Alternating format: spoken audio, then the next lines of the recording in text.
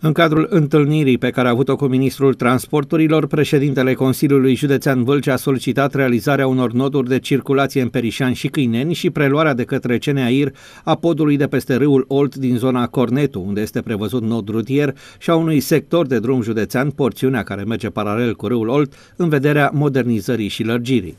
Ca de obicei, Domnul președinte Rădulescu, de fiecare dată când vine la Ministerul Transporturilor, vine cu probleme din județul Vâlcea pentru cetățenii județului Vâlcea și cu chestiuni foarte punctuale. Astăzi a venit cu o problemă pe care o tratăm extrem de serios, și anume trei descărcări de pe viitoarea autostradă Sibiu-Pitești, pe care dorim să le facem.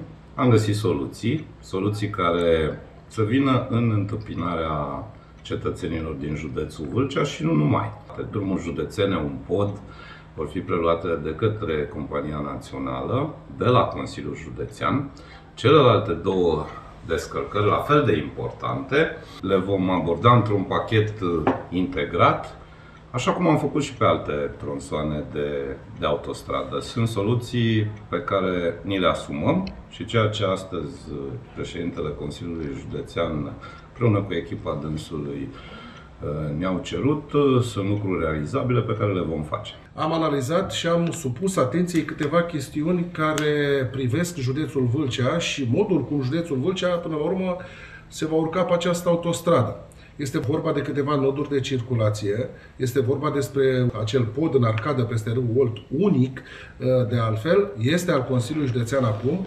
Ei bine, pentru că toți suntem în etapa de proiectare, am supus atenției și conducerea Ministerului și a Companiei Naționale de Administrare a Infrastructurii Rutiere vor da ca teme de lucru proiectanților uh, ceea ce am spus noi.